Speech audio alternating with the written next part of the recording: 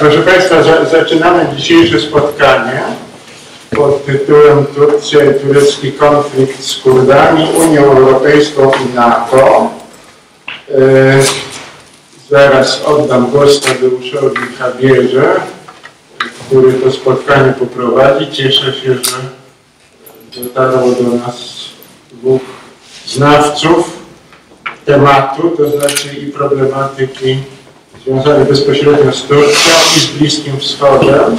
Pan Krzysztof Strachota z, z Instytutu Studiów Wschodnich i Karol Wasilewski z, z PISMO, z Polskiego Instytutu Spraw Międzynarodowych. Także cieszmy się, że mamy kompetentnych rozmówców i pewnie się sporo dowiemy o temacie, który jest bardzo poplątany i złożony. Zygmunt bardzo się cieszę, że, że jest z nami. Parokrotnie mnie ofuknął, że próbowałem w tytuł tego spotkania wsadzić pięć problemów.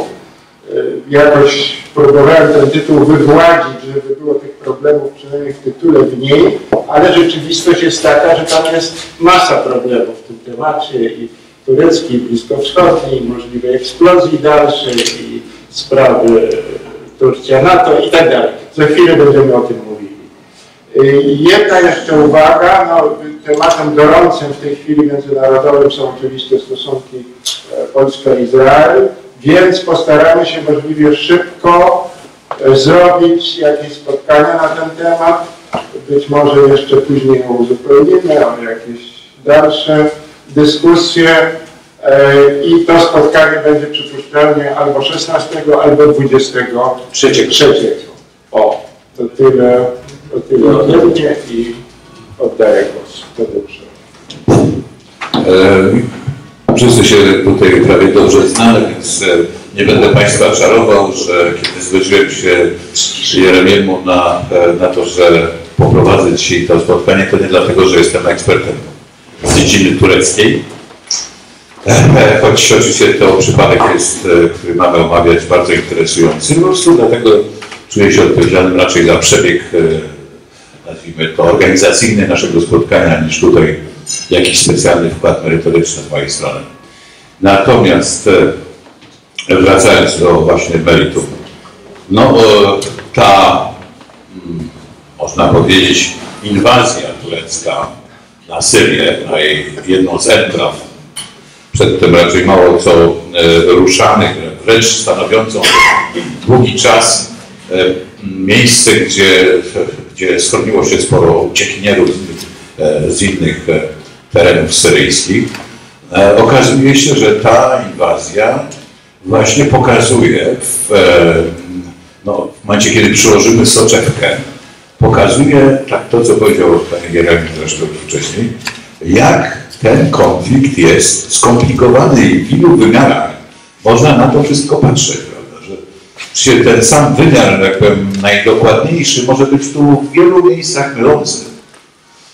Bo wiadomo, że aktorami jest i Rosja, i Turcja oczywiście, no i Iran, i Stany Zjednoczone, i NATO, i Unia Europejska. Kogo tam nie ma na swój sposób. Wszystkie te nowoczesne strategie bezpieczeństwa mówią o tym, że żyjemy w trudnych czasach, my to wiemy, tak trudnych i, i to właśnie i, pokazują też, że konflikty, które zachodzą mają też charakter coraz bardziej trudny do zanalizowania, a, a, a tym bardziej do, jakby to powiedzieć, proponowania e, lepszych lub gorszych rozwiązań. Natomiast, żeby nie przedłużać, proszę Państwa, oddaję głos nie wiem, w kolejności takiej, jak panowie wolicie. Panu Karolowi najpierw, tak? Proszę.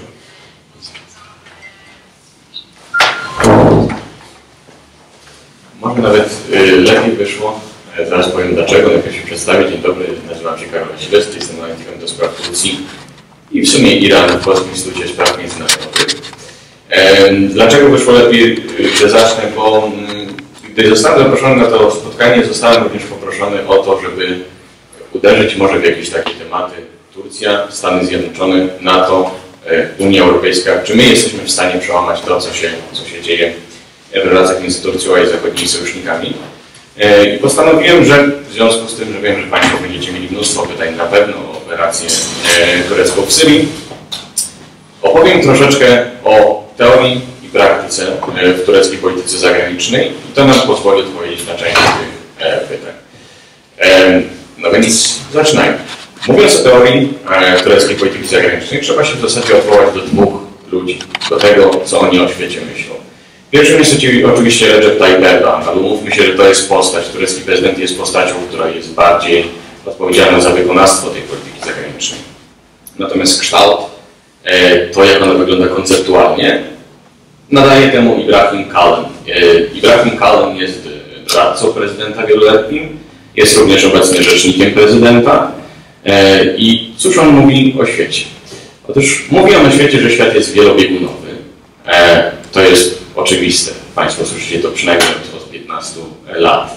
E, Że w związku z tym, że nie dość, że jest wielobiegu- wielobiegunowy i jeszcze mamy do czynienia z tak daleko postępującą globalizacją, to jest bardzo złożone. Kolejna, rzecz, kolejna oczywistość. Natomiast nazywa świat takim efektem motyla. E, I to jest to, o czym Pan wspomniał, ta złożoność zjawisk, ta niesamowita liczba zmiennych, e, powoduje, że Turcja nie może patrzeć na świat przez jedne soczewki, nie tylko przez soczewki zachodnie. E, I stwierdził wprost, e, bo zadałem sobie trud obejrzenia całego trzygodzinnego wywiadu z nim, a e, no, że to tak określę, nie każdą propagandę słucha się sympatycznie, bo często tam są wątki, które się powtarzają. Stwierdził, że Turcja jest oczywiście członkiem NATO, ale w związku z tym nie znaczy to, że nie może współpracować z innymi państwami. E, Wskazał na przykład e, Unię Europejską e, i państwa konkretnie Unii Europejskiej, które angażują się na Bliskim Wschodzie e, i opowiedział w wywiadzie, którego właśnie udzielał jednej z tureckich telewizji, drodzy Państwo, zwróćcie uwagę, gdy Francja angażuje się na Bliskim Wschodzie, nikt nie mówi, że odwraca się od Zachodu. Gdy Turcja, która ma dużo większą tradycję relacji z państwami bliskowschodnimi, wschodnimi, angażuje się na wschodzie, pojawia się stwierdzenie, że odwraca się od Zachodu. Stwierdził, że nie, tak nie jest, że Turcja jest jednocześnie członkiem Zachodu i jednocześnie stara się utrzymywać relacje z innymi państwami, podając również przykład Rosji i Iranu. Ale dlaczego? Rosji i Iranu, ponieważ nasi sojusznicy, stwierdził, nie pomogli nam w Syrii. Coś, o co zabiegaliśmy od dłuższego czasu, zostało przez nich totalnie zignorowane, a teraz wraca, o, chociażby dlatego, że pojawia się kwestia stref bezpieczeństwa również wypowiedziach przedstawicieli Stanów Zjednoczonych. E, W związku z tym, za każdym razem, gdy porozmawiacie Państwo z kimś, kto jest powiedzmy zbliżony do tureckiego rządu, a w sferze publicznej trudno w tym momencie w Turcji spotkać kogoś, kto nie jest, e, usłyszycie takie zapewnienie, że Turcja pozostanie członkiem Zachodu, że tym członkiem Zachodu będzie zawsze, ale patrzy na świat z tureckiej perspektywy i musi realizować swoje interesy. I wydaje się, że jest to wszystko bardzo proste e, i tak naprawdę oczywiste, bo każde państwo chce mieć jak najlepsze relacje z wszystkimi partnerami i realizować swoje interesy. Problem polega na tym, że w tureckim wydaniu teoria często kłóci się z praktyką. No bo to nie jest tak naprawdę takie proste, żeby utrzymywać dobre relacje ze wszystkimi. Zwróćmy uwagę tutaj na jeden przykład, e, na przykład zakupu przez Turcję, czy deklaracji o zakupie systemu obrony przeciwlotniczej i przeciwrakietowej S-400 od Rosji. Tutaj retoryka jest bardzo podobna. Turcja mówi, że w związku z tym, że sojusznicy nie spełnili naszych żądań, w związku z tym, że my mamy swoje prywatne interesy, musimy je realizować. W tym momencie widzimy realizację tych interesów we współpracy z Rosją. Problem polega na tym, że zakupując system obrony S-400 od Rosji, e, Turcja jednocześnie będzie godziła w jedność i spójność Sojuszu Północnoatlantyckiego. Tureccy em, politycy zdają się nie dostrzegać tego, albo starają się tego nie dostrzegać. No ale takie są fakty. E, I teraz powiedziawszy to, że teoria kłóci się z praktyką, e, przeszedłbym wreszcie króciutko do wątku operacji.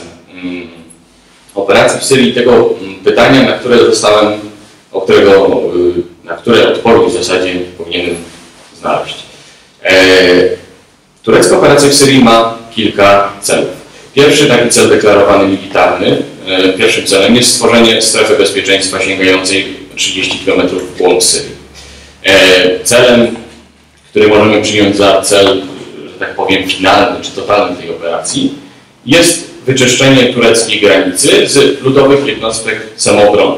Czyli tego, co my nazywamy syryjskimi Kurdami, a co Turcy traktują jako przedłożenie partii pracujących Kurdystanu.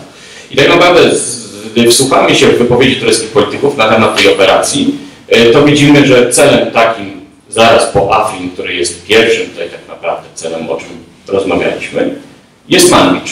Manbicz, gdzie przebywają amerykańskie oddziały.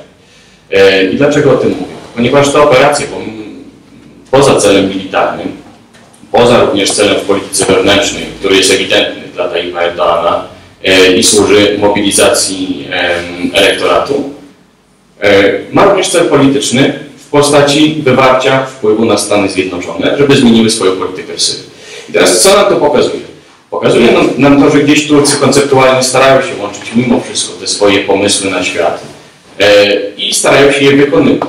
Prawdopodobnie zdają sobie sprawę z tego, że Turcja bez dobrych relacji z zachodnimi partnerami nie do końca będzie w stanie poradzić sobie w świecie.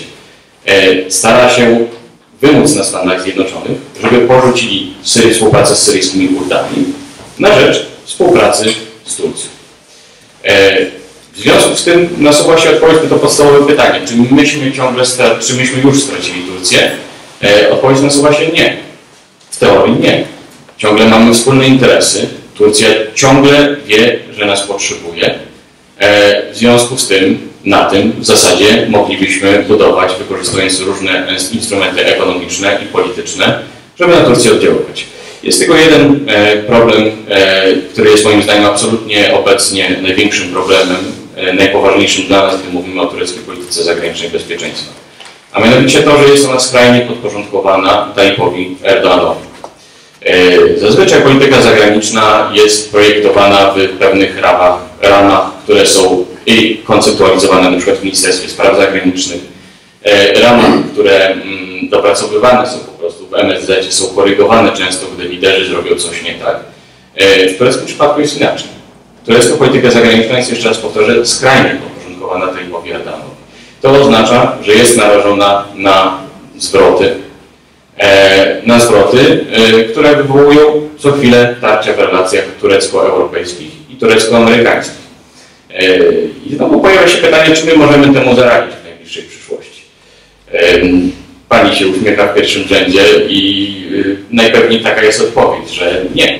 To jest coś, na co zwracają uwagę od dłuższego czasu amerykańscy analitycy, że myśmy przekroczyli już ten próg w relacjach z Turcją.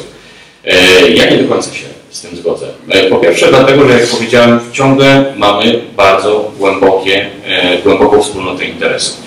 Gdybyśmy tak naprawdę e, zachowajmy się powiedzmy jak fizyk teoretyczny i wyobraźmy sobie rzeczywistość, którą chcemy osiągnąć i wyobraźmy sobie, że z tego całego równania Turcja, Unia Europejska, NATO wrzucamy postać Tayyipa Erdoana.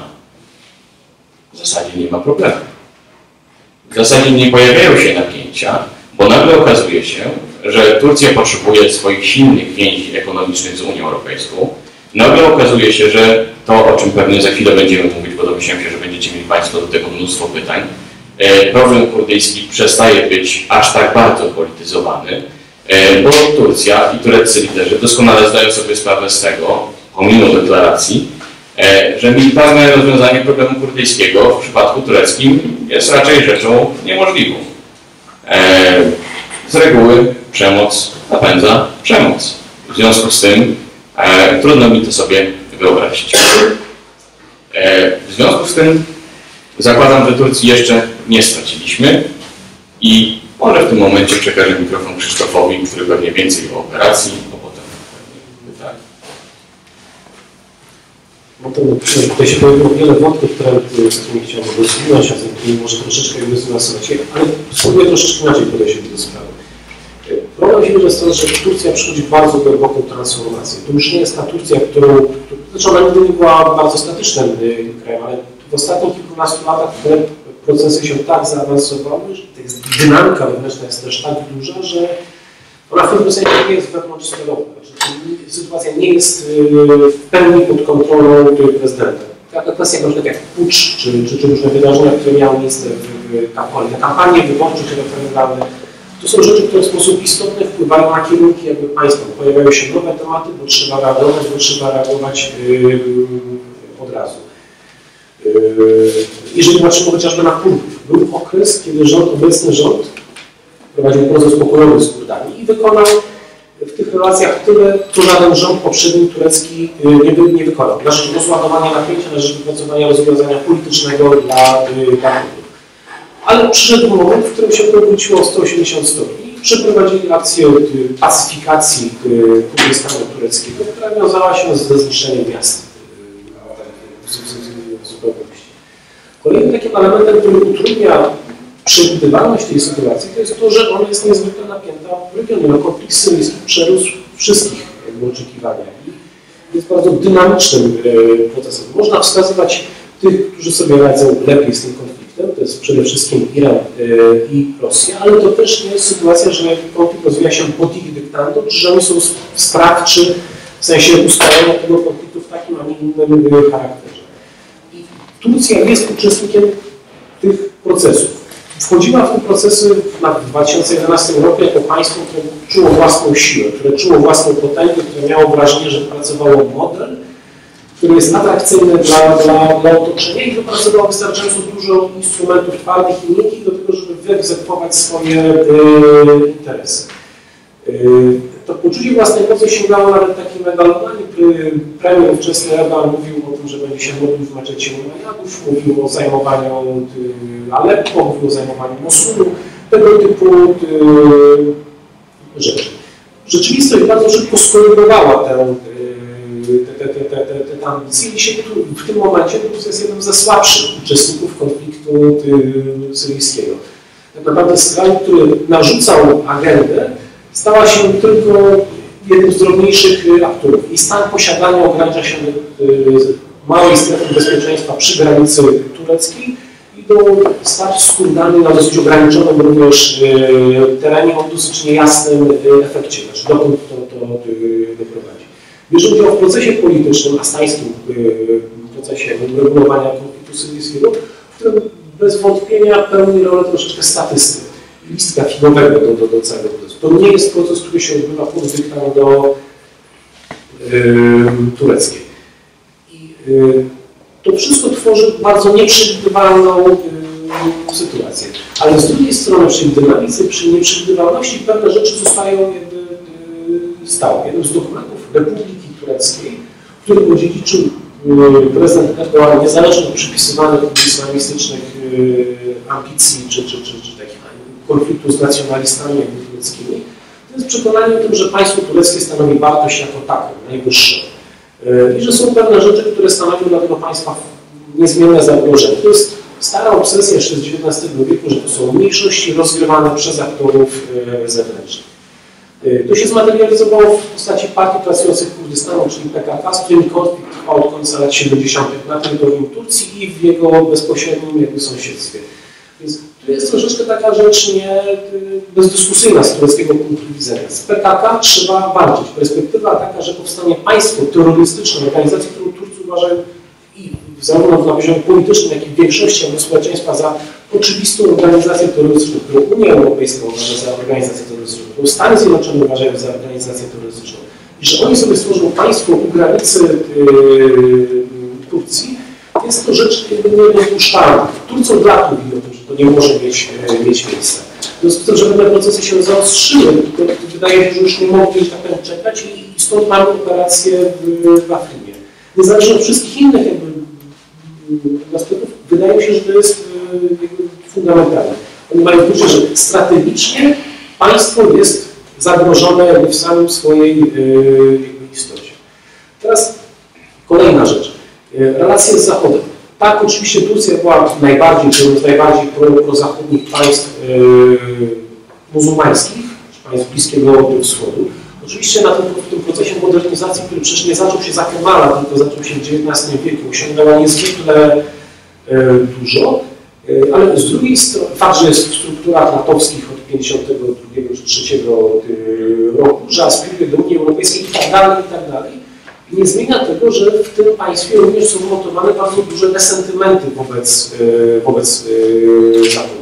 Jakby nie było, Republika Turecka powstała w walce z interwentami francuskimi, brytyjskimi i z Grekami. Ze Stambułu w, w, na początku lat 20. były wy, wypychane oddziały brytyjskie i francuskie, a nie żadne inne. W ramach tego konfliktu pomocy, decydującej pomocy udzieliły Sowiety dla, dla, dla Turcji. To znaczy, chcę powiedzieć, że w kulturze politycznej tureckiej jest zawartych mnóstwo takich pozornych jakby sprzeczności, czy mnóstwo takich ciemnych zakamarków, które się jakby odzywają. Więc znowu, obecna sytuacja, jakaś konfrontacja jakby z Zachodem nie jest wcale taka y, egzotyczna. Ona jest wpisana w tradycję kultury politycznej tureckiej, że oto Zachód, niecny Zachód próbuje rozgrywać mniejszości, próbuje osłabić państwo tureckie i to się uderza w takie atawistyczne bardzo struny w społeczeństwie i w elitach. Jeżeli dodamy jeszcze do tego, że relacje ze Stanami Zjednoczonymi są złe, tak naprawdę od, od bardzo dawno, co najmniej od pierwszej wojny w Zatoce, kiedy cała polityka amerykańska, no może w ten sposób, zimna wojna skończyła pewien oczywisty sens relacji wojskowych między Zachodem a, y, Turcją. Znika ZSRR, znika zagrożenie i trzeba szukać nowej racji bytu dla, dla, dla Sojuszu Północnoatlantyckiego i relacji z, z, z Turcją. Amerykanie mają pierwszą, drugą wojnę w Zatoce. Za każdym razem ona się spotyka ze sprzeciwem, ostrym sprzeciwem yy, Turcji. Yy, mamy wojnę w Syrii, mamy interwencję, mamy teraz wsparcie dla, dla yy, Kurdów yy, syryjskich. I to jest jakby z perspektywy tureckiej konsekwentnie antyturecka polityka w regionie, albo świadomie antyturecka, ale tak nieodpowiedzialna, że w sposób rażący uderza w interesy tureckie.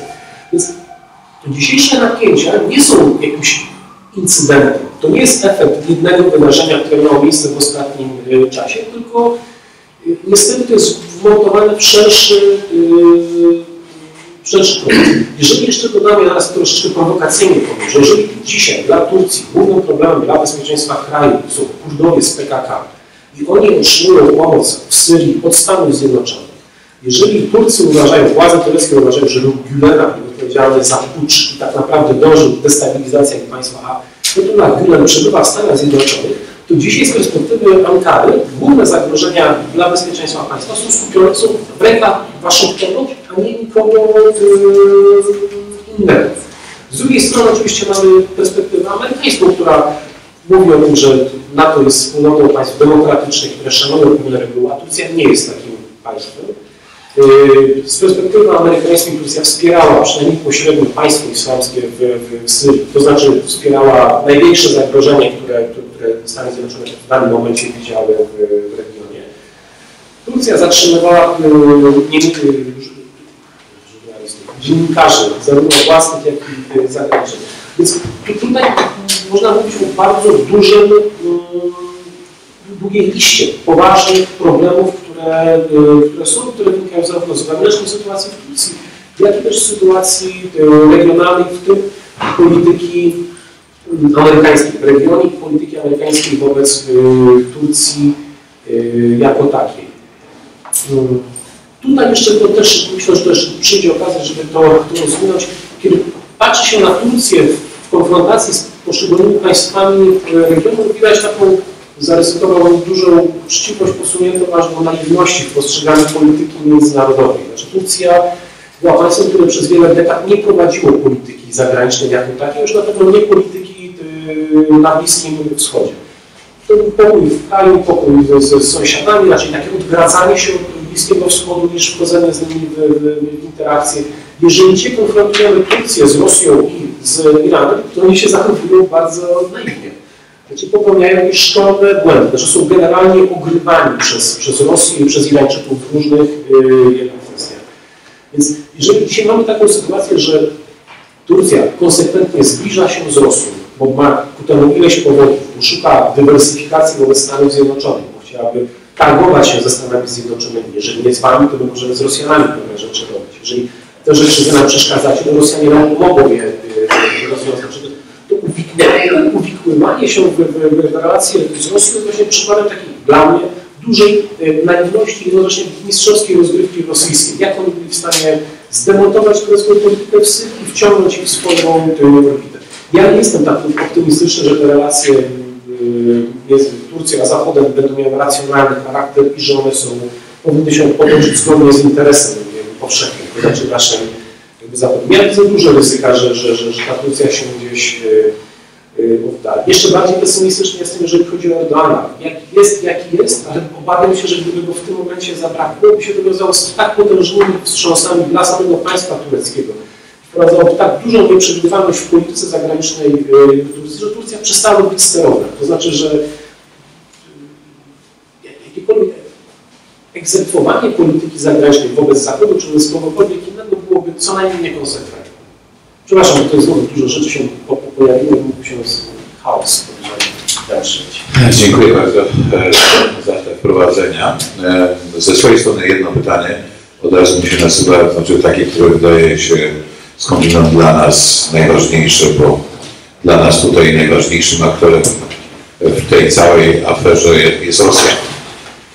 To jest Rosja i wydaje się, że kiedy przyjmiemy, że rosyjski kurs na konfrontację z Zachodem w ogóle jest kursem stałym, jest kursem stałym, że tutaj sytuacja wewnętrzna w Rosji nie pozwala na zmianę tego kursu i wycofanie się z tego przynajmniej nie ekipie Putina, no to te manewry, powiedziałbym, tureckie i te, powiedzmy sobie, deale, które robią z Rosjaną, Rosjanami nie tylko S-400, ale teraz South Stream, prawda? Zgodzili się na ten rurociąg, gazociąg.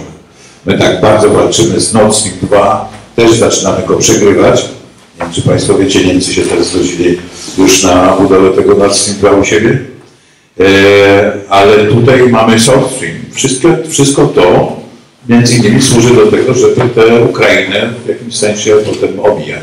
Więc tu moje pytanie dotyczy właśnie interesów rosyjskich i tego powiedzmy sobie na przykład są, są ekspertyzy, które potwierdzą, że Rosji zależy na tym, żeby ten konflikt nigdy się nie skończył. Ponieważ póki on trwa, to może rozgrywać najrozmaitsze, najrozmaitsze własne interesy, a zwłaszcza dzielić i rządzić. Czyli skłócać właśnie Turcję z Zachodem. To jest moje pytanie, ale teraz już oddaję Państwu głos. Proszę bardzo, jak tutaj robimy, że mikrofon wędruje, tak? Widzisz pedagoga, muszę nastawić kamerę. Przedstawiamy się najpierw, tak? Michał Strzeszewski. Ja mam takie pytanie do Panów. Jak to się stało, że jest coś takiego jak problem kurdyjski? Może to pytanie to jest trochę śmieszne, ale gdy, no to już jest blisko 100 lat temu, upadło Imperium Otomańskie, powstawały tam państwa Syria, Liban, to się było wiadomo. Kurdowie znaleźli się w trzech różnych państwach i są yy, no, jakby ogniskiem niepokoju ciągłego. Przecież gdyby na przykład wtedy, a to chyba, chyba była to sprawa w rękach no, mocarów zachodnich, gdyby utworzono państwo o nazwie Kurdystan, to i w regionie byłoby zapewne znacznie mniej napięć i w tej chwili dzisiaj i w samej Turcji. Dla Turków jest to sprawa bardzo drażliwa, ale ponieważ jak mówię, mija już 100 lat, pewnie by się już do tego przyzwyczaili i prawdopodobnie sytuacja wewnętrzna Turcji bez problemu kurdyjskiego też by wyglądała inaczej. Właśnie jak robimy, że zbieramy pytania czy od razu? No to już jak, jak to ja tylko dodał, to, bo to jest, że tak powiem, kontynuacja tego pytania, czy jest do pomyślenia w Turcji polityczne rozwiązanie problemu kurdyjskiego, czy tylko siłowe? Czy, czy może jakoś... Dobra, to mam tylko e, na razie dwa pytania i jedziemy, bo tak możemy za, potem coś. Ja pozwolę sobie zacząć od Kurdów. Znaczy, Z Kurdami jest strasznie delikatna sprawa. My nazywamy ich Kurdowie i traktujemy ich jako naród. Ja bym powiedział, że procesy narodotwórcze u Kurdów są na stosunkowo wczesnym etapie. Jeżeli się cofamy do momentu rozpadu Imperium Osmańskiego, które się odbyło w wojny, więc Turcja się na to nie zgadzała, że elity tureckie na to się nie, nie, nie, nie, nie zgadzały. Kurdowie byli podzieleni między dwa państwa od kilkuset lat, między Persję a, y, a Imperium Otomańskie. Ja troszeczkę wyostrzając sprawę, bym zaryzykował, że były to zawsze obszary pograniczne. Nie, może, może w ten sposób. Dzisiaj Kurdowie mówią czterema czy też pięcioma językami, które nie są dla siebie wzajemnie yy, zrozumiałe. Kurdowy. Kurdowie, tak. Tureccy Kurdowie, tureccy Kurdowie mówią językiem Kurmanji. Y, W Iraku i w Iranie większość mówi językiem Sorani. W Turcji mamy jeszcze język Zaza, mamy język Gora, mamy tyle rzeczy. Językoznawcy do tej pory nie mają świadomości, znaczy nie mają jasności, czy to są różne języki, czy to są różne dialekty, ale faktem jest, że żaden z Kurdów, z którymi rozmawiamy, nie mówił, że oni się między sobą rozumieją. E, Kurdowie w tym względzie zamieszkiwali obszary pograniczne i obszary górskie. One zawsze były pod dosyć iluzoryczną kontrolą, zarówno Turcji osmańskiej, jak i Persji. E, Efektem tego było też to, że nie wykształciły się twarde ośrodki polityczne, czy społeczne, czy struktury, które mogłyby to wszystko jakoś yy, koordynować, one były zmienne. Czasami to były królestwa tutaj, czasami za siedmioma górami jakieś inne królestwo dochodziło do, do, do, do, do pozycji, ale nigdy nie obejmowało większego obszaru yy, kurdyjskiego. Mówiąc wprost, yy, kiedy rozpadała się, kiedy dzielono Imperium Osmańskie, był projekt, żeby stworzyć państwo kurdyjskie. Taki był postulat i takie rzeczy postanowiono. Ale nie było kim tego zrobić. Nie było wystarczających elit kurdyjskich, na których można się było oprzeć. Nie było ani tradycyjnych, plemiennych elit, ani tym bardziej nowoczesnych e, elit, które mogły inspirować do tego, żeby tych wszystkich ludzi zebrać razem i jakimiś sposobami skłonić do tego, żeby tworzyli razem sprawną e, tę organizację. Te procesy narodotwórcze na dobrą sprawę zaczęły się dzięki temu, że Kurdowie zaczęli się konfrontować z nowoczesną Republiką Turecką, taką jaką zaczął budować e, Kamal Atatürk. W związku z pro- procesami, które w ogóle globalnie wówczas e, zachodziły, aktywnością e, ZSRR, procesami dekolonizacyjnymi, masową migracją zarodkową do Europy Zachodniej. W Europie Zachodniej, w Berlinie w dużym stopniu wykuwała się myśl e, narodotwórcza tych dzisiejszych Kurdów. To są procesy, które się nie zakończyły do, do, do tej pory. Nawet iracki Kurdystan, który jest stosunkowo niewielką częścią Kurdystanu jako takiego, był podzielony między dwie duże grupy językowe, różne od siebie. Oni przez kilkanaście lat posiadania wspólnego para państwa nie wypracowali jednego języka edukacji we Był pan ten irański. o irackim Kurdystanie, tak.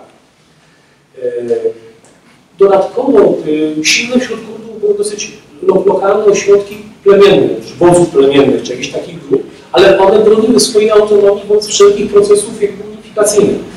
Pojawiła się PKK, czyli stalinowska i marksistowska, ale takim bardzo radykalnym jakby rysie partia tych pracujących w Kurdystanu, która swój pierwszy zasadniczy cel wzięła nie walkę z państwem tureckim, tylko walkę z feudałami kurdyjskimi. Znaczy to był konflikt wewnątrz kurdyjski, zmierzający do tego, żeby móc tak naprawdę usunąć stare elity, żeby można było wychować sobie nowy naród. I ten proces jest realizowany przez PKK różnymi metodami, nie tylko yy, przemocą, trwa od kilkudziesięciu lat, od, od lat yy, 70.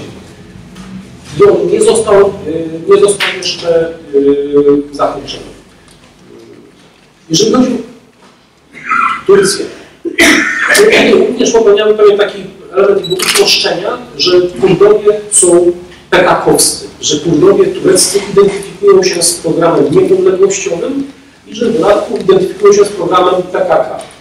PKK jest bardzo prężną organizacją, aktywną militarnie, politycznie, społecznie, kulturalnie, mają swoje telewizje, mają swoje biznesy, mają swoją sieć kontaktów międzynarodowych, Yy, ale ich poparcie dla nich my szacowaliśmy na 10-20% wśród Kurdów tureckich.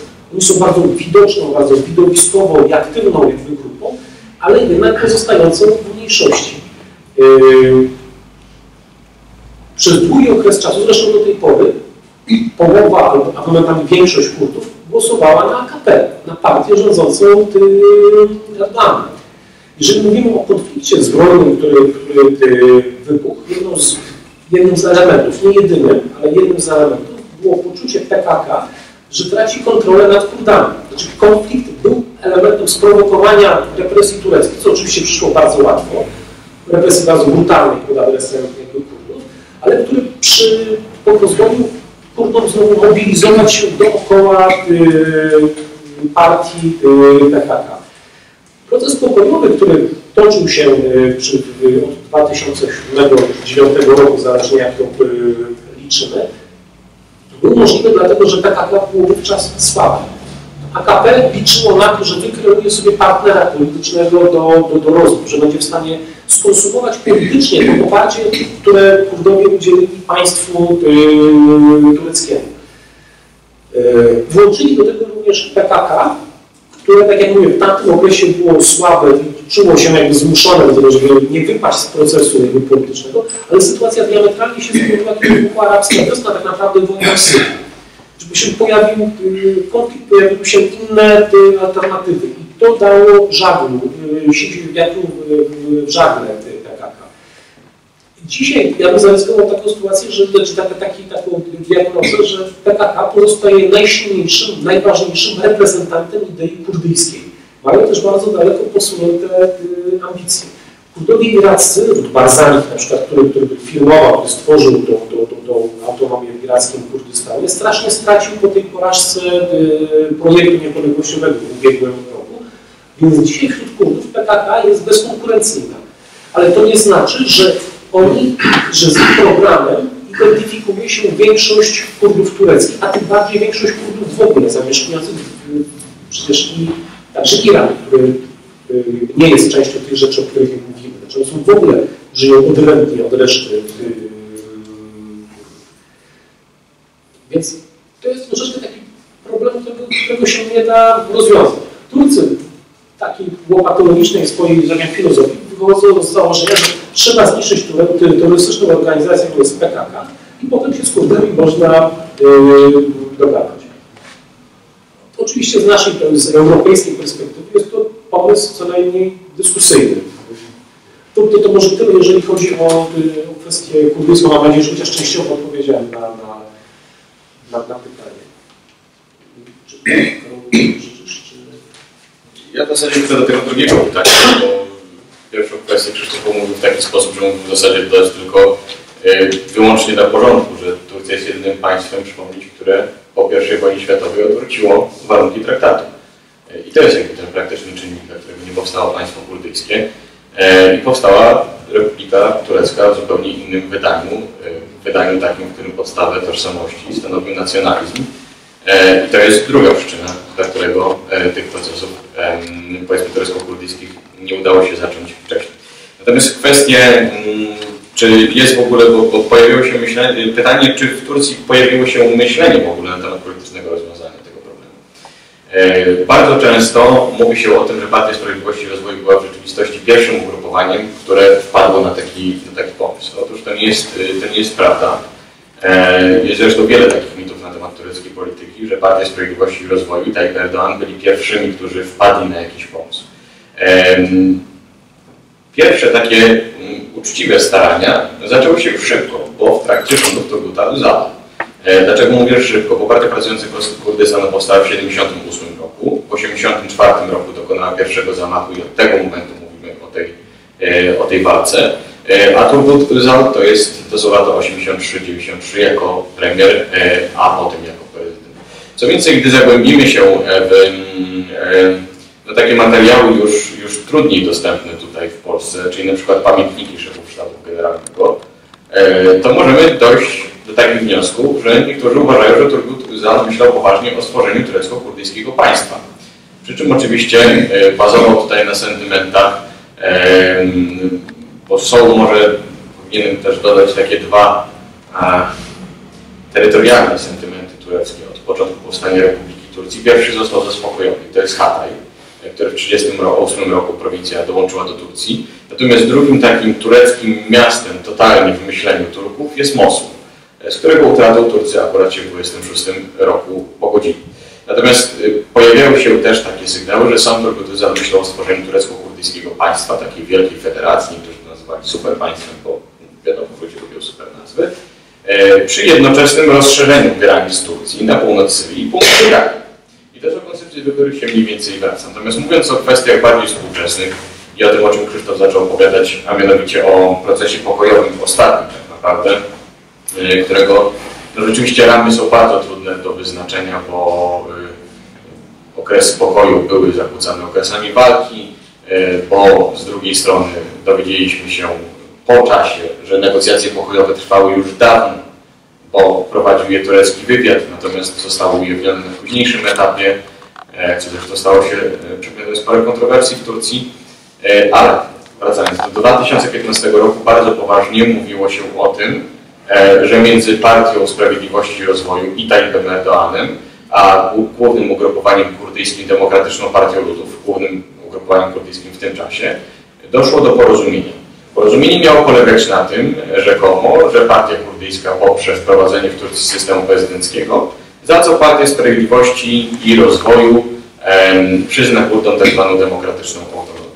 Nigdzie absolutnie nie mówiło się w prasie, e, żeby było ciekawie, czym ta demokratyczna autonomia tak naprawdę jest. E, Był to troszeczkę temat tabu, bo jest to jeden z konceptów, który wtedy pojawia się również w pismach Abdullaha Öcalana, czyli lidera partii pracujących Kurdystanu. Natomiast e, prawdopodobnie polegało to oczywiście na przyznaniu Kurdom większej autonomii regionalnej, stworzeniu parlamentów. Ostatecznie do tego nie doszło, bo jak powiedział Krzysztof, kwestie no tak naprawdę różne, bo to nie była wyłącznie kwestia polityki regionalnej, to, to, to, to jak zwykle trzeba, trzeba sprawę zniuansować, e, spowodowały, że proces pokojowy się zawalił. Natomiast dlaczego, e, bo tutaj też może uzupełnię tę jedną rzecz, Yy, Bo Turcy rzeczywiście są przekonani, że tym razem im się uda militarnie pokonać partię pracujących Kurdystanu. Yy, Dotychczas się to nie udawało yy, i dlatego większość ekspertów, którzy zajmują się bezpieczeństwem, są e, sceptyczni. Natomiast co powoduje, że Turcy myślą, że im się uda tym razem? Otóż stan wyjątkowy. Stwierdzili, że w warunkach stanu wyjątkowego uda im się pogodzić takie trzy komponenty obecnej strategii wobec partii pracujących Kurdystanu. Komponent militarny, czyli wysiłek militarny prowadzony praktycznie 24 godziny na dobę w każdą porę roku, również w zimę, bo zazwyczaj konflikty między Turcją a partią pracujących Kurdystanu e, w zimie stawały się mniej intensywne. E, element polityczny, czyli wywieranie większych nacisków na, jak Turcy twierdzą, ugrupowania, które są powiązane z partią pracujących Kurdystanu. I tutaj Państwo widzicie efekt w postaci zatrzymania e, i aresztu chyba, jeśli dobrze pamiętam, 13 posłów w tej chwili HDP, w tym współlidera Salahaddina Demirtasza e, i ekonomiczny funkcjonowanie w organizacji, które dostarczają finansowania partii pracujących Kurdystanu. E, No tylko pojawia się taki problem, e, na przykład jak radykalizacja młodych. E, I e, to sugeruje, że jednak ta strategia mimo wszystko nie będzie w dłuższej perspektywie do utrzymania, no bo po prostu, tak jak powiedziałem na samym początku, przemoc napędza przemoc. Dlatego, tak jak powiedział zresztą Krzysztof, tutaj się absolutnie zgadzam, e, myślę, że Turcy w dłuższej perspektywie wiedzą, że z czasem trzeba będzie rozwiązać problem przy oczywiście stole negocjacyjnym. Natomiast trochę jeszcze to potrwa. A te interesy rosyjskie? Chcesz? Ja się absolutnie jakby zgadzam z tezami zawartymi w tym pytaniu. Dla Rosji Bliski Wschód jest takim obszarem, gdzie w ciągu ostatnich kilku lat oni się znaczy znacznie posunęli do celu, którym na pewno jest odzyskanie globalnej y, pozycji światowej.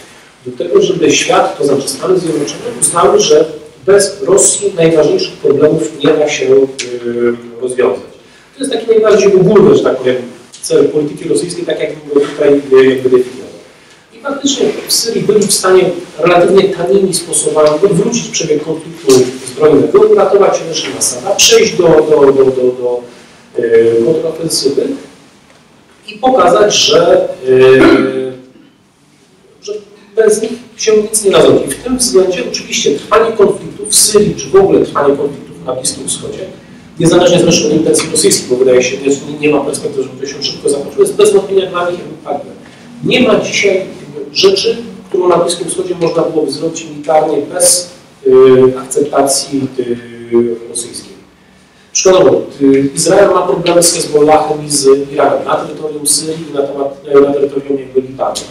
Bardzo prawdopodobne jest, że dojdzie do jakiejś poważnej akcji wymierzonej w, Hezbollah. Nie ma mowy, żeby Izrael zrobił to bez akceptacji rosyjskiej i zapewne akceptację rosyjską uzyska.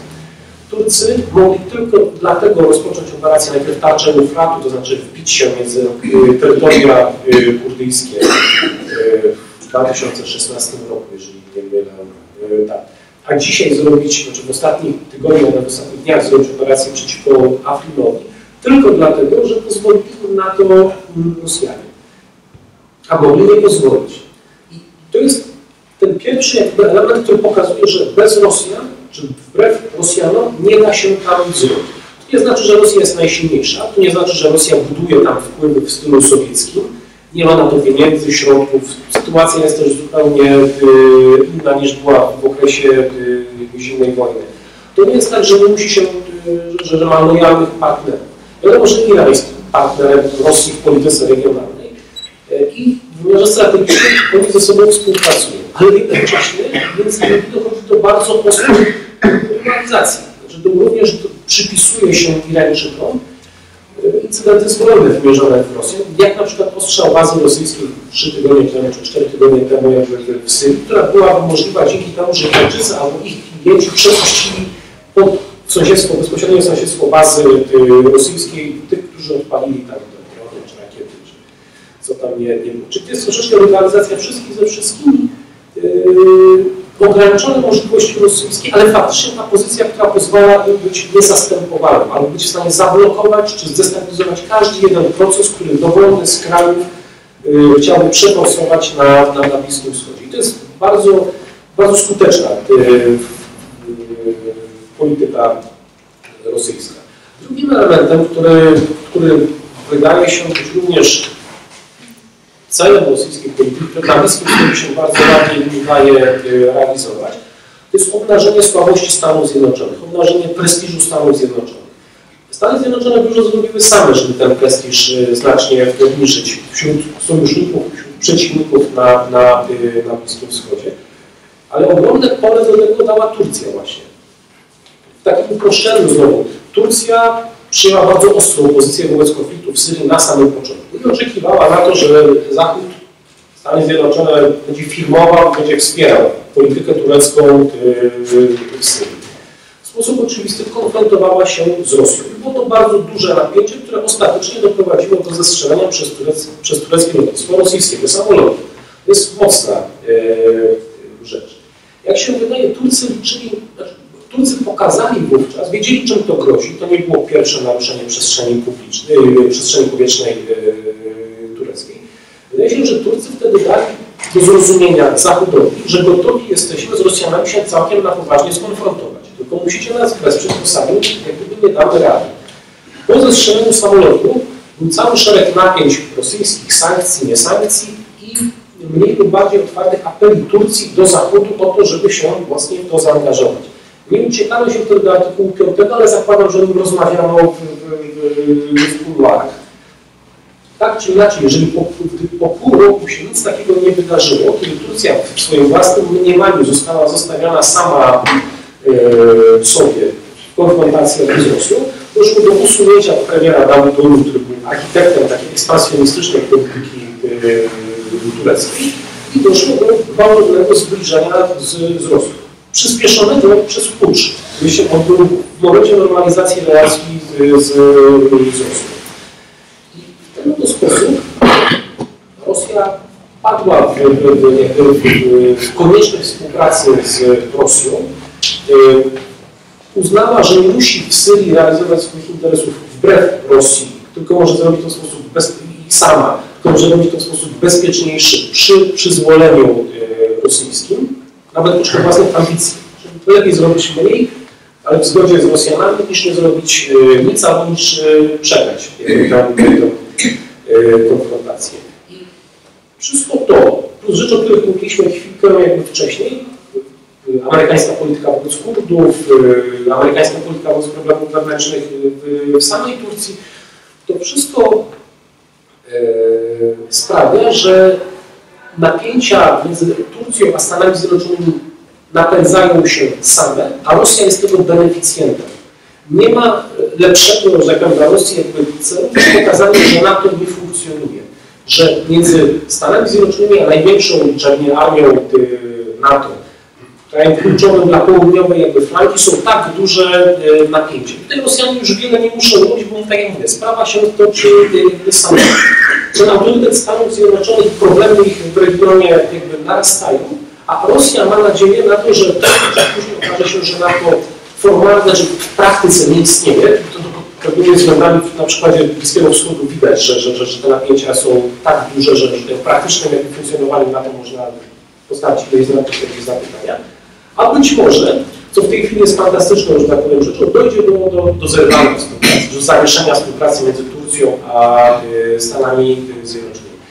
To byłoby osiągnięcie super ważnego, że tak powiem, celu, jakim byłoby rozbicie NATO. Znaczy to jest marzenie rosyjskie od momentu powstania Sojuszu Północnoatlantyckiego, którego się nie udało zrobić za pomocą Paktu Warszawskiego, zimnej wojny i wielu innych rzeczy, tutaj Rosjanie jak nigdy są blisko tego, żeby wpinać jedno z najważniejszych państw e, sojuszu z, z,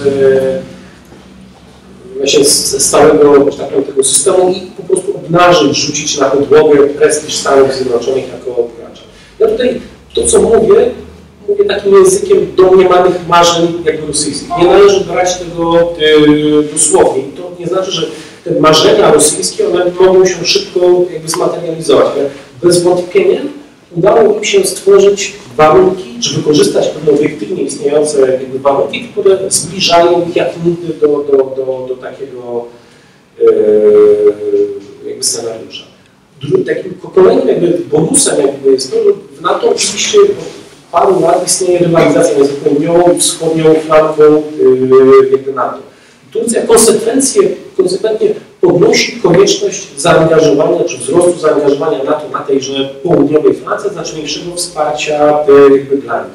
Więc niezależnie od tego, czy ono się odbywa, czy ono się nie odbywa, przy pogarszających się relacjach między Turcją a Stanami Zjednoczonymi, to wszystko absorbuje jakby środki, czy absorbuje myślenie, czy to słabe myślenie o flance wschodniej, bo Turcy, że tak powiem, rywalizują, że powiem, z nami o, o zainteresowanie NATO przy dużo mniejszych, mam nadzieję, możliwościach do wyegzekwowania To, to tyle. Czyli myślę, że na pewno trzeba będzie... Proszę bardzo. Ja mogłabym adwocem, Anna Łabuszewska, Ośrodek Studiów Wschodnich, koleżanka Krzysztofa. E, S400. Taki e, trochę magiczny, e, magiczne słowo, magiczne pojęcie. To nie jest tak, że, że to już na pewno będzie lepiej, jak ja będę mówiła dla mikrofonu, tak? To jest takie magiczne pojęcie, że Turcja kupuje S-400. To nie jest tak, jak rodzina kupuje sobie fortepian do tego, żeby w salonie ładnie wyglądał, a w rodzinie nikt nie gra na żadnym instrumencie. To S-400 się postawi, a chodzi o to, żeby stworzyć dobrą atmosferę w stosunkach pomiędzy Moskwą i Ankarą. Rzeczywiście te stosunki wcale nie są dobre, chociaż Turcja wykonuje wiele, żeby, żeby je poprawić. Pomidory tureckie w dalszym ciągu do Rosji nie mogą wjechać. Pomidory nie. Wczoraj jakiś film to, to jedno. Drugie, to jest takie poważne życzenie, tak, poważne myślenie Rosji, żeby taki sposób Turcję rozgrywać, i, ale y, są też takie twarde fakty, może niewygodne z punktu widzenia Rosji. Y, Trump w pewnym momencie wydał polecenie, żeby tomahawki poleciały na cele w Syrii. I obecne już tam wtedy rosyjskie S-400 przespały tę sytuację. Nie zareagowały. To jedno. Niedawno była, e, był też atak dronów na rosyjską e, bazę wojskową w Lataki. I też jakoś S-400 spały wtedy snem sprawiedliwych, drony doleciały. E, rosyjska telewizja pokazywała potem z upodobaniem, że to były takie właściwie maszyny latające wykonane przez majsterkowiczów w klubie, w piwnicy i że to ukrowanderowcy są. E, no ale faktem jest, że atak nastąpił, zniszczenia były, e, no więc e, czy rzeczywiście taka omnipotencja rosyjska w rozgrywaniu karty tureckiej, syryjskiej, no czy to jest tak? Rzeczywiście. Jarek, mikrofon. staram się mocno powiedzieć, że Rosja nie jest wszechmocna, jeżeli chodzi o y, Syrię. To nie jest tak, że wszystkie rzeczy, które sobie Rosja planuje, się udają. Absolutnie tak nie jest.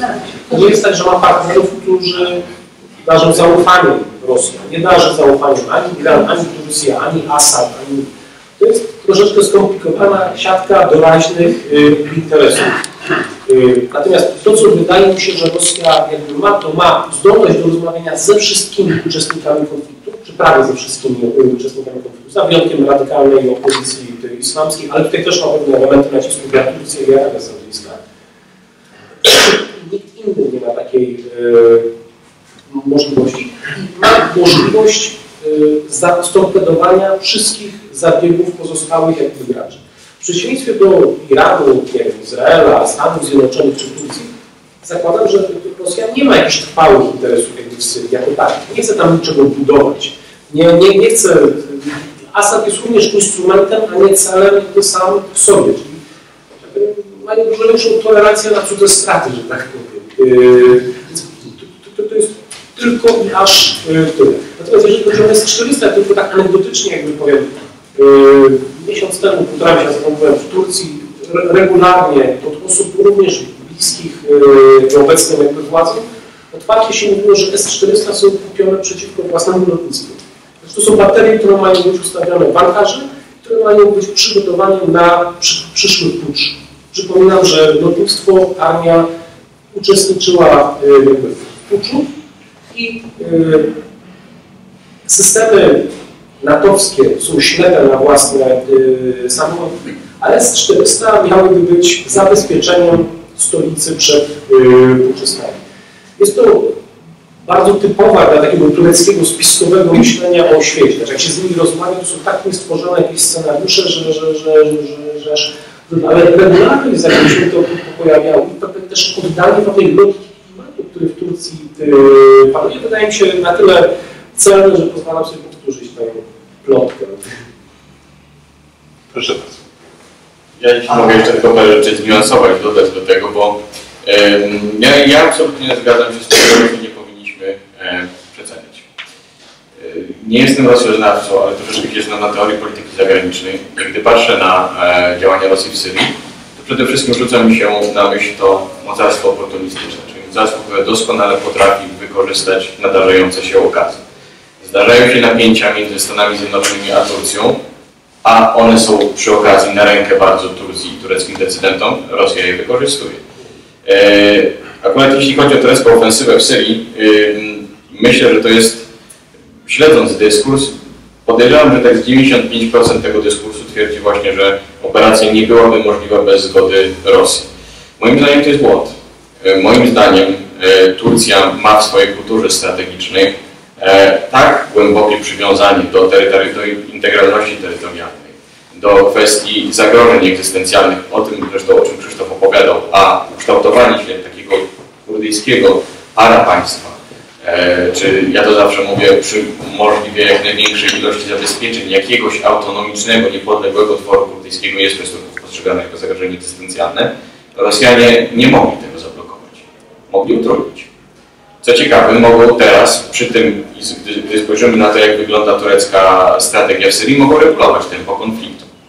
E, mogą spowodować oczywiście, że Turcy poniosą zdecydowanie dużo większe koszty, e, dlatego że będą mogli, e, znaczy, że nie będą mogli korzystać z syryjskiej przestrzeni powietrznej, e, że poniosą w związku z tym też dużo większe koszty wizerunkowe, bo kampania będzie trwała dłużej, a i tak będzie trwała bardzo długo, bo to nie jest taka operacja, e, wbrew temu co mówi Tayyip Erdoğan, która zakończy się szybko, chociażby dlatego, że akurat miejsce, w którym się toczy operacja, to jest się nazywa średnio korzystnym terytorium, czyli od 900 metrów do około 2000 metrów nad poziomem morza. To, to nie są miejsca, w których się toczy łatwe kampanie. W dodatku kampania może zamienić się w operację miejską, a e, operacje miejskie zawsze wiążą się z dużą, e, dużą, dużymi stratami.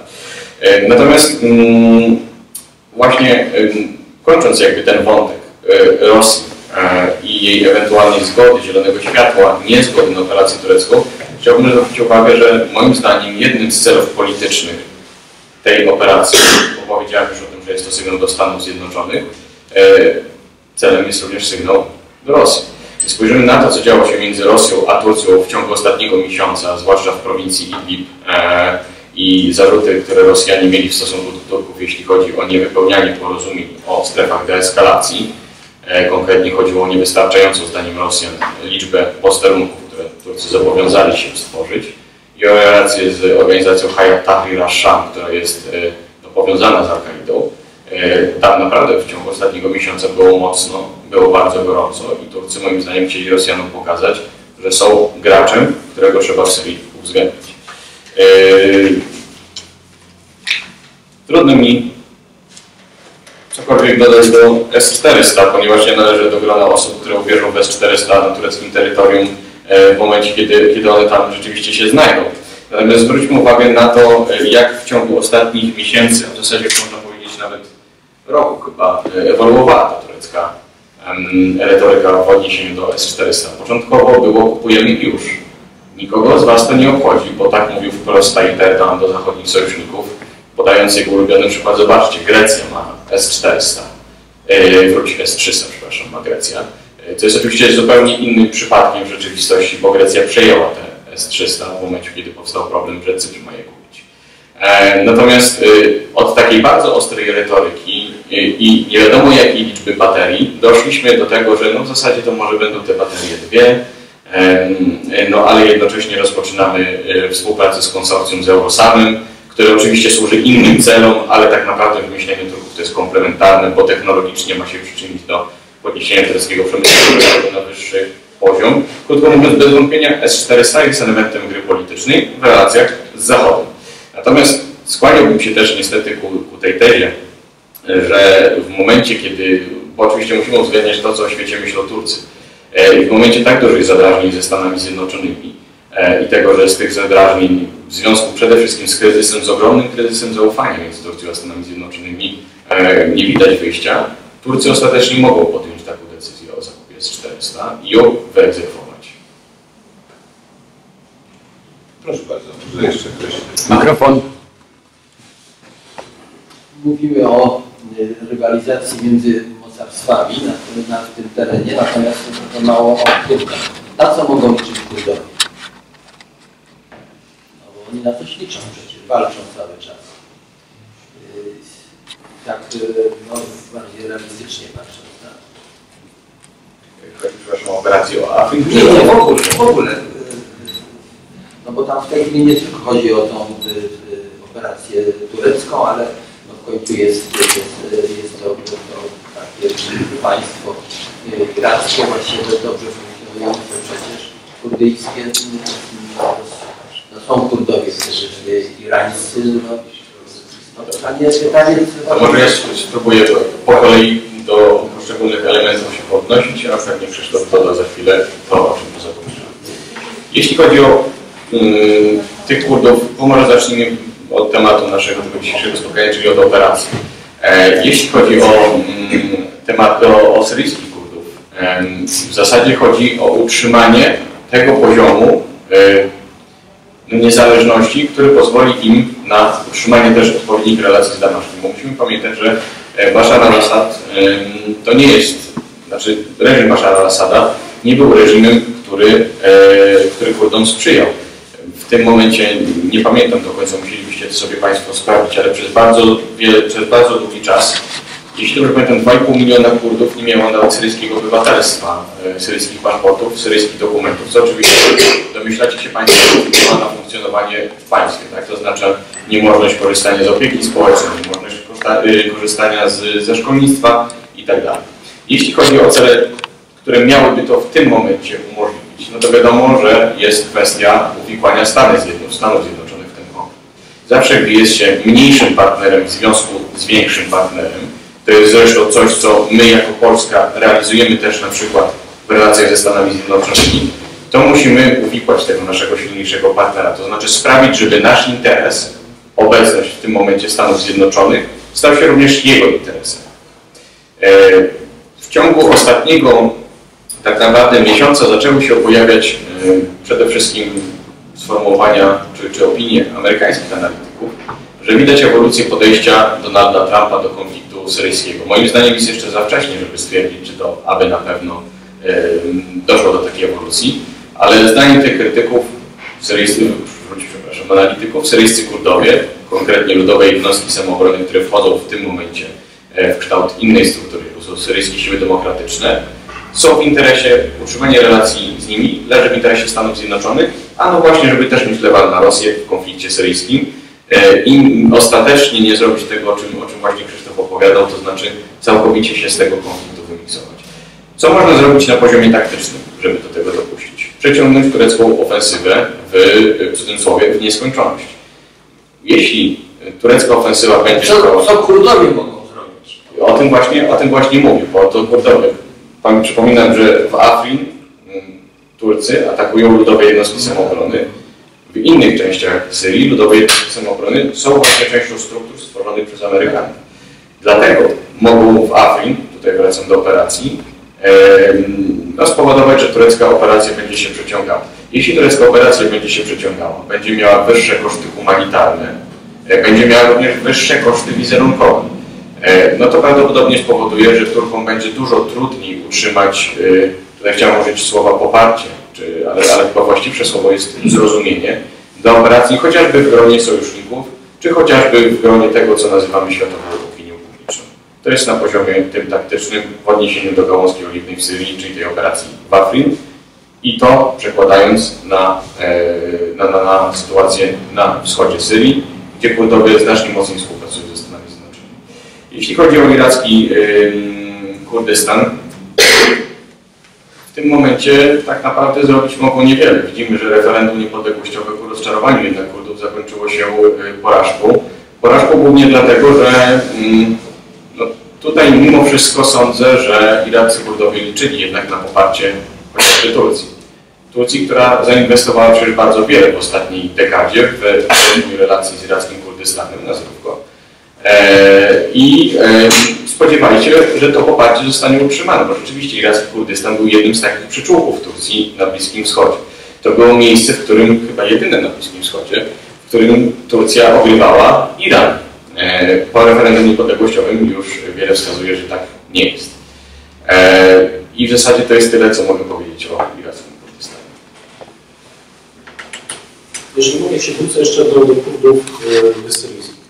Kurdowie syryjscy stworzyli struktury administracyjne i struktury wojskowe, polityczne, które od kilku lat funkcjonują na różnych obszarach kontrolowanych przez e, Kurdów. Ja doprecyzuję, że stworzyło to PKK, to znaczy organizacja istniejąca od końca lat 70. i przywódcy PKK są ludźmi, którzy w lat 70. są członkami tej organizacji. To są starzy, doświadczeni, że tak powiem, towarzysze. Oni z niejednego pieca chleb jedli. PKK miało swoje siedziby w różnym okresie w Turcji, w Syrii, w, w Iraku. Do dzisiaj główna siedziba PKK jest w górach irackiego Kurdystanu. PKK na różnym okresie współpracowało z Rosjanami, z Irańczykami, z Syryjczykami, z których gościnnie korzystało, z Irakiem, niemal ze wszystkimi graczami, za wyjątkiem Stanów Zjednoczonych, które, za wyjątkiem Turcji i Stanów Zjednoczonych, które teraz się pojawiły jako partner. Stworzenie oni są niezwykle pragmatyczni. To, to nie jest kwestia jakby do, do, do, dogmatyczna. Stworzyli sobie państwo kurdyjskie, poszerzyli o plemiona arabskie, które dosyć skutecznie wmontowali w system e, kurdyjski konsekwentnie tworzą obraz taki, jaki dla Amerykanów jest pożądany. Obszar stabilny, obszar nie generujący kryzysu humanitarnego, ale go rozwiązujący. Syrii, tak gracz, który był w stanie efektywnie zwalczać państwo islamskie, który potencjalnie mógł być przeciwwagą dla wpływów y, irańskich. Jak liczni są ci, ci w Syrii? Y, jeżeli to są siły zbrojne, to jest około 30 tysięcy z perspektywami do y, 100 tysięcy. A, a ludności? Około 4 milionów. Myślę, że to są dane To są dane też, tak. Przy czym też warto dodać, Turcy mają rację, że większość kadry wojskowej to są Kurdowie tureccy. To nie są Kurdowie syryjscy, tylko to są ci, którzy walczyli na terytorium Turcji. Teraz nie ma walk z, z PKK na terytorium tureckim, bo ci wszyscy ludzie budują państwo w, w Syrii. Ja zakładam, że dla Kurdów optymalnym rozwiązaniem byłoby to, że wsparcie Stanów Zjednoczonych zostanie utrzymane i Stany Zjednoczone będą chroniły przed Amerykanami, jeżeli nie wahnie, to chociażby w tej głównym jakby obszarze kontrolowanym przez Kurdów i sama obecność amerykańska uniemożliwi ataki tureckie i pozwoli dalej krzepnąć temu organizmowi yy, kurdyjskiemu. Wariant, yy, ale jak mówię, to są ludzie, którzy dużo w życiu, że tak powiem, przeszli. Wiele razy byli na, na, na, na, na górze i yy, na dole. Zakładam, że są, i pragmatyzm również sprawia, że są do, do współpracy zasadem. O ile Assad pozwoli im utrzymać kontrolę tego terytorium, o ile pozwoli im stworzyć faktycznie formalną albo nieformalną federację w ramach jakby Syrii. Tutaj gotowi byli do pójść jakby drogą wpływów. To znaczy zachować faktyczną kontrolę nad jakimś obszarem, nie ogłaszając niepodległości, nie wchodząc w konflikt z, z, z, z Damaszkiem, licząc, że czas będzie grał na ich yy, korzyść. Yy, w przypadku, gdyby z jakichś powodów, jednocześnie mają też świadomość, że Assad gotowy będzie, jeżeli do tego starczy się, militarnie zająć yy, obszary kontrolowane przez Kurdów. Czyli to jest bardzo dynamiczna gra, gdzie może się okazać, że dzisiaj, w przeciwieństwie do tego, co będzie za kwartał czy za pół roku, konfiguracja sojuszu i patronatu nad Kurdami, nad państwem kurdyjskim będzie zupełnie inna niż jest w, w, w tej chwili. Oni są z jednej strony bardzo mocni, to jest najpoważniejsza spójna taka siła militarna, która wyrosła na konflikcie w, w, syryjskim, ale to nie jest siła, która byłaby w stanie się oprzeć w dłuższej perspektywie armii tureckiej czy armii Asada. Y, więc to też nie jest przesądzone, czy jakbyśmy się spotkali w grudniu tego roku, to państwo będzie w ogóle istniało, bo może się zdarzyć, że nie będzie istniało, będzie inkorporowane przez, przez siły Asada i rozbite przez, przez Turków. To jest możliwa faktyczna współpraca między Turcją a, a, a, a, a reżimem syryjskim. Czy też uda się zachować to, co zdobyli do tej pory, albo część z tego, co zdobyli do tej pory, pod parasolem amerykańskim. Ale gdyby to udało się przedłużyć o rok jeszcze do przyjaźń z Amerykanami, naraziliby się na tym większe ataki ze strony Asada, ze strony Iranu i pewnie ze strony yy, Rosji. Myślę, że jest absolutnie chaotyczna sytuacja i wszystkie kombinacje są tutaj yy, możliwe. Ja jestem, znaczy powątpiewam, czy uda im się przeradiować yy, przez, przez kolejne yy, ale, ale jak najbardziej może być. Jeśli mogę jedną rzecz jeszcze, żeby dodać, bo, bo przypomniałem się o tym przy okazji, kiedy Krzysztof mówił, że sytuacja może wyglądać rzeczywiście e, inaczej. I owszem, gdy patrzymy na sytuację w Syrii, ona jest bardzo dynamiczna, jest bardzo wiele zmiennych i one często nam zakłócają obraz taki długofalowy. Natomiast problem polega na tym, że jeśli Bashar al-Assad e, chce kiedykolwiek mieć funkcjonujące w miarę państwo, odzyskać, e, zakładając oczywiście, że ma taki cel, a nie, że jego celem jest na przykład utrzymanie się jako wieczny, nieskończony klient Rosji na rosyjskim rynku. E, tak, musi zająć również wschodnią Syrię. No bo tak się składa, że o ile teraz oczywiście mówię to w dużym uproszczeniu, bo, bo, bo no jednak zniszczenia wojenne zrobiły swoje. Natomiast jeśli zachód Syrii był takim przemysłowym centrum, e, no to na wschodzie były surowce. I żeby to wszystko grało, Asad musiał wschodnią i zachodnią Syrię. I e, to jest właśnie też czynnik nieprzewidywalności, prawdę mówiąc, w, tej, tej, tej relacji syryjsko, turecko, kurdyjsko-amerykańskiej. Dodajmy sobie jeszcze do tego Iran i cokolwiek Państwo chcecie. Bo moim zdaniem my nie doceniamy roli tych małych e, aktorów. Właśnie Bashara al-Assada, e, a spójrzmy na taką bardzo no, sympatyczną dla Bashara al-Assada, a mniej sympatyczną dla Turcji rzecz z ostatnich dni, na przykład kongres w Soczi. Nagle okazało się, że na kongresie w Soczi członkiem jednej z delegacji jest Mihracz Ural. To jest człowiek, który jest poszukiwanym, chyba nie skłamie, jeśli powiem, od 80, od 80 lat terrorystów w Turcji, podejrzewanym m.in. o zamach w Rejhan z 2013 roku, w którym zginęło 52 osoby. No i osobą, którego gdyby ktoś z nas tutaj schwytał i tylko przekazał, dostałby za to milion lir, czyli teraz to ponad milion, milion złotych. Nagle ta osoba zjawia się na kongresie. To co oczywiście zwracają się z zapytaniem do patrona, do Rosji, tak, skąd on się pojawił. Natomiast wcale nie wykluczałbym, że był to Bashar al-Assad, którego na tę konferencję zaprosił, zwłaszcza, że, czy może inaczej, nie bezpośrednio, tylko reżim, którego na tej konferencji umiejscowił. Zwłaszcza, że Michał Czuralo jest postacią, która, która od dłuższego czasu walczy po stronie reżimu. E, to samo, co znaczy tutaj sytuacja jest podobna do tego, co Państwo pewnie słyszeliście w ostatnich dniach e, na temat bombardowania tureckiego konwoju, który przemierzał sobie radośnie Syrię. Otóż przez co najmniej 24 godziny nie było dokładnie wiadomo, co się tam tak naprawdę stało. Po 24 godzinach dowiedzieliśmy się, że w zasadzie jako pewnik turecki konwoj jechał przez Syrię. Doszło do jakiegoś wybuchu. I teraz mamy znowu tysiąc różnych wyjaśnień tej sytuacji, natomiast jedna z nich wcale nie wyklucza tego, że reżim Asada chciał tutaj sprowokować sytuację jakąś między Turcją a Rosją. Nie mówię oczywiście, że to jest y, wytłumaczenie tej sytuacji e, pewne w 100%. Natomiast no, gdzieś tam z tyłu głowy polecałbym to zostawić jako taki element potencjalnej destabilizacji konfliktu przez tych mniejszych aktorów. Także jeszcze mamy Andrzej Bożym. Chciałbym zapytać o stosunki turecko-europejskie. To znaczy, y, y, na ile Turcja jest wciąż zainteresowana przystąpieniem do Unii? Zwłaszcza, że chyba w Unii Europejskiej trochę zapał do przyjmowania Turcji posła. To, to może y, zacznę. Zastanawiam się, co z tego tematu wyciągnąć y, szerokiego, przecież takiego, żeby to było porządkujące. Więc zacznę może od absolutnej podstawy. Podstawą tą członkostwa w Unii Europejskiej jest wypełnienie kryteriów kopenhaskich, kryteriów politycznych i ekonomicznych.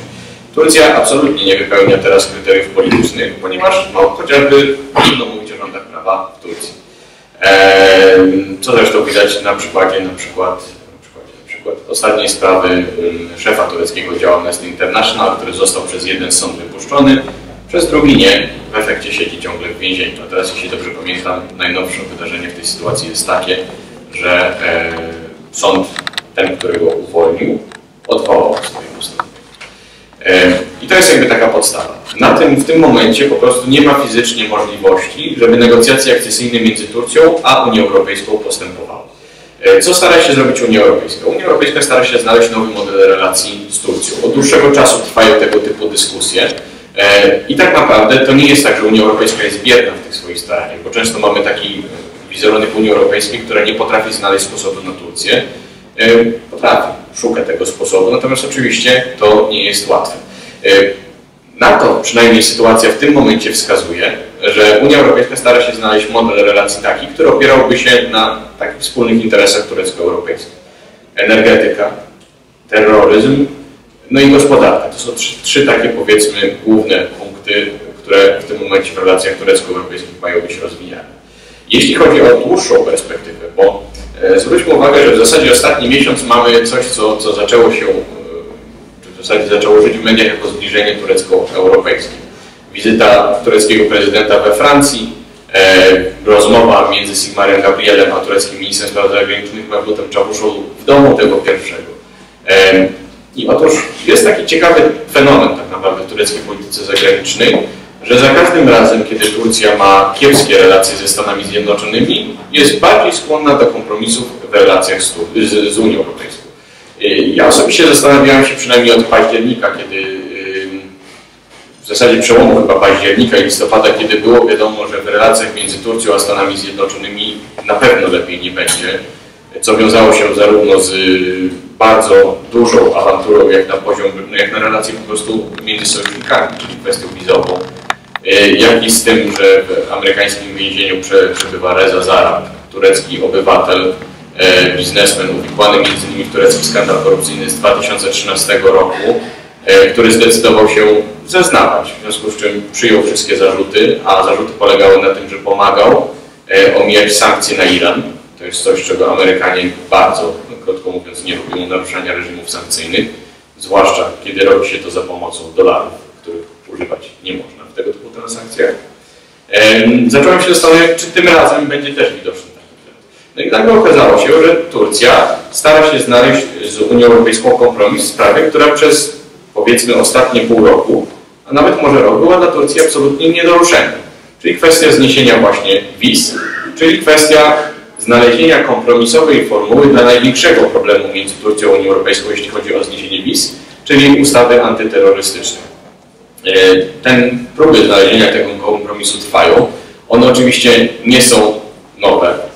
E, Natomiast może jeszcze jedna rzecz tak naprawdę.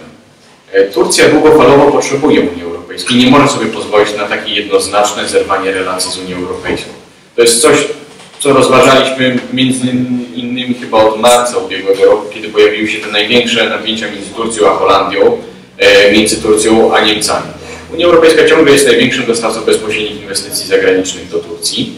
E, I zwróćmy uwagę, co się stało, kiedy Niemcy nagle zaostrzając dyskurs wobec Turcji stwierdziły, że porozmawiamy w takim razie na temat reformy e, funduszy przedakcesyjnych, czyli pieniędzy, które trafiają do Turcji w związku z no, oficjalnie ciągle trwającą procedurą akcesyjną i, i z czymś, co jeszcze bardziej zabolało Turków, a mianowicie z tym, że nie wyobrażają sobie w tym momencie reformy Unii celnej. To jest coś, na czym bardzo zależy Turkom. E, z prostej przyczyny. Przyniesie e, no, zdecydowanie mm, w granicach chyba 12%, jeśli dobrze pamiętam, tak się szacuje, tureckiego PKB korzyści dla Turcji reforma Unii celnej. Oczywiście Niemcy wprowadzili jeszcze, jeszcze jeden środek, powiedzieli, że nie będą Turcji przekazywać broni na podstawie kontraktów, które zostały zawarte. Okazało się, że Turcja jest wtedy zdecydowanie bardziej elastyczna w stosunku do Unii Europejskiej. Może nie na tym poziomie retorycznym, który ciągle jest jakiś tam, em, retoryka antyzachodnia ciągle w Turcji, że tak to brzydko wyrażę, żre. Natomiast tutaj też dostrzegam różnicę. Ona jest dużo bardziej skierowana na Stany Zjednoczone ostatnio niż na Unię Europejską. Teraz powiedziawszy to już wszystko i mając nadzieję, że, że cokolwiek gdzieś tam zostanie w przestrzeni, że nie było to na tyle chaotyczne. Rzecz podstawowa. Turcy też szukają tej nowej formuły współpracy z Unią Europejską, ale jednocześnie wskazują, że nie ma mowy o jakiejś formule, która byłaby alternatywna w stosunku, w stosunku do negocjacji akcesyjnych. To znaczy, że nie godzą się na coś takiego jak na przykład uprzywilejowane partnerstwo. No tylko tutaj pojawia się pytanie, którego nie da się odpowiedzieć bez właśnie pytania o przyszłość samej Unii Europejskiej. Mianowicie, czy jeśli dojdzie ostatecznie do Brexitu, to na przykład taka formuła partnerstwa nie okaże się dla Turcji zdecydowanie bardziej korzystna niż członkostwo na podobnej zasadzie na przykład jak Wielkiej Brytanii, która też będzie, wiemy, że będzie miała, jeśli dojdzie do Brexitu, jakieś specjalne relacje z Unią Europejską. No to jest coś, co oczywiście daje do myślenia i, i sytuację możemy śledzić, tylko może zakończę, też bo pewnie Krzysiek będzie zaraz mniej optymistyczny, ja zakończę bardziej optymistycznym wątkiem. Ostatnio sondaże mówią, że poparcie dla członkostwa w Unii Europejskiej Turków znów skoczyło na poziom 80%. Krótko mówiąc, no jakieś podstawy Jak u do nas, twierdzenia, jak u nas. jakieś podstawy do twierdzenia, e, że będzie lepiej są. Zobaczymy, czy się zniszczą. Ja zgadzając się w większości z, z tymi e, rzeczami, podkreślając, że Turcja nie ma alternatywy dla relacji gospodarczych i politycznych z państwami Unii Europejskiej, z Unią Europejską jako taką, chociaż próbowali to zrobić. Był taki okres, kiedy liczyli na pieniądze na przykład z Zatoki Perskiej, kiedy yy, próbowali eksportować w Afryce, próbowali współpracować z Chińczykami, kiedy próbowali różnych rzeczy. Znaczy, już wiadomo, że nie ma alternatywy dla relacji jakby z Zachodem. One muszą być chropowate, niechropowate, z mniej lub bardziej strony i punkt gospodarczy przede wszystkim i polityczne i y, inne. Teraz jeżeli chodzi o kwestię y, formalnego przystąpienia do Unii Europejskiej, ja bym zaryzykował, że czas, w którym w elitach tureckich było realne zainteresowanie implementacją y, części warunków do przystąpienia do Unii Europejskiej skończył się w 2007 roku. Zakładałbym, że Turcy, władze tureckie, partia AKP liczyła w ten sposób, co, czy się uda, czy się nie uda, to zobaczymy, ale bez wątpienia wcielanie w życie reform pod dyktando Unii Europejskiej pozwala nam umocnić władzę. Pozwala osłabić armię, poz- pozwala osłabić rozmaite niedemokratyczne struktury, które w państwie tureckim odgrywały decydującą y, rolę. Czyli to był taki moment, kiedy Turkom, kiedy Ankarze faktycznie zależało na wypełnianiu przynajmniej części yy, zobowiązań wobec Unii Europejskiej, zobowiązań yy, akcesyjnych. Potem się kilka rzeczy zmieniło. Jedną z nich oczywiście kryzys gospodarczy w Unii Europejskiej, który formie, że tak powiem, wstrząsnął autorytetem y, Unii w, w, w Turcji. Potem się zaczęły szereg innych problemów, ale dzisiaj bym zaryzykował, że państwo tureckie rozwija się w zgoła przeciwną stronę niż Unia Europejska. Robi to w sposób świadomy, świadomy również ryzyk i kosztów, które, z którymi to się jakby niesie. Nie ma możliwości, nie ma woli też ze strony tureckiej, żeby próbować wrócić do zbliżenia instytucjonalnego, strukturalnego z, z Unią Europejską. Osobiście pamiętam, jak ładnych parę lat temu, to był 2012 rok, i praktykalnie bezpośrednio w rozmowie, w której uczestniczyłem, mówił o tym, że Turcja nie chce być w Unii Europejskiej, ale na pewno nie będzie krajem, który pierwszy o tym powie głośno. To jest jakby rzecz korzystna.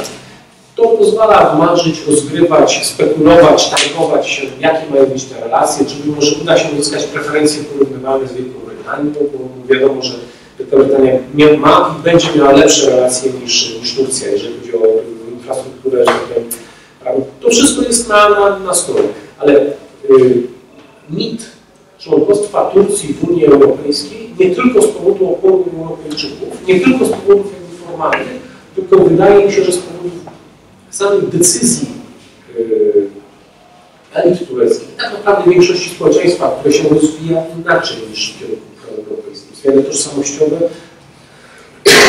przechodzą w dużym stopniu, przepraszam, w kontrze do tego, co się yy, robi w, Europie, że to jest rzecz zamknięta. Natomiast to jest teatr, który jest potrzebny jednej i drugiej yy, stronie, a za tym teatrem mają być realne interesy, które nie oznaczają członkostwa, czy perspektywy, czy starań, czy zabiegów o realne członkostwo w Unii Europejskiej.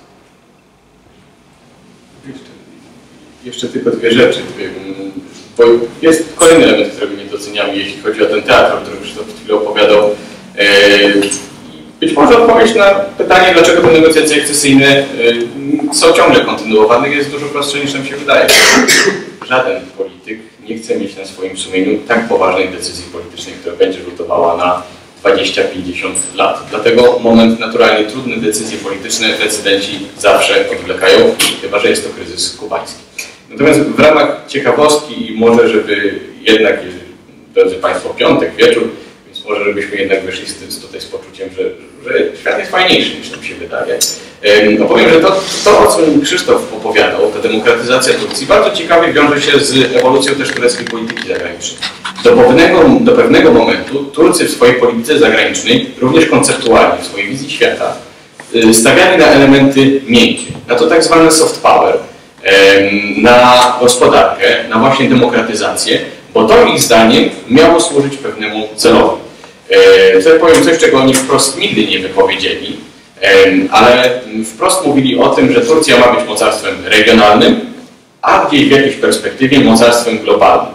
E, To, czego nie wypowiedzieli, to jest kategoria, której używa się, e, używa się w odniesieniu do Stanów Zjednoczonych, czy może inaczej, używało się do Stanów Zjednoczonych, to jest imperium liberalne, czyli takie imperium bez imperium. Imperium, które wszyscy lubią, imperium, które wszyscy kochają, bo jest imperium, które przynosi demokrację, przynosi na przykład pieniądze, a nie przynosi zwierzchności politycznej, bo imperium, kategoria imperium zawiera w sobie jednocześnie panowanie i podwój.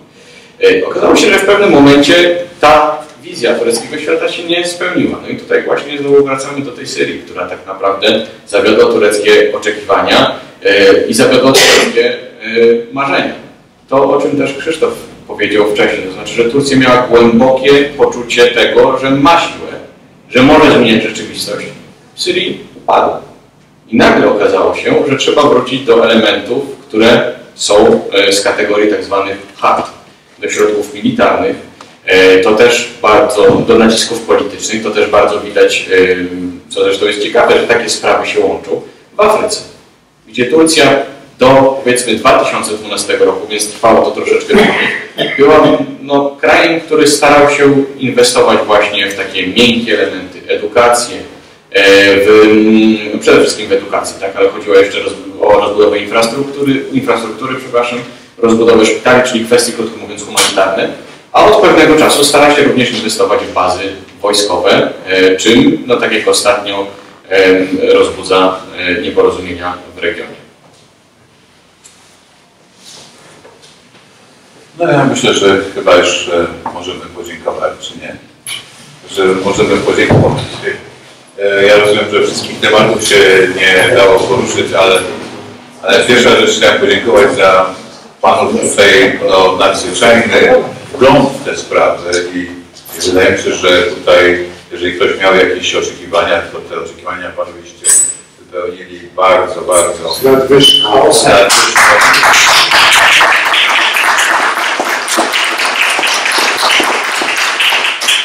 A, a ja Wam ze swojej strony daruję pytanie o stosunki Żeby już nie rozwijać. Dziękuję bardzo.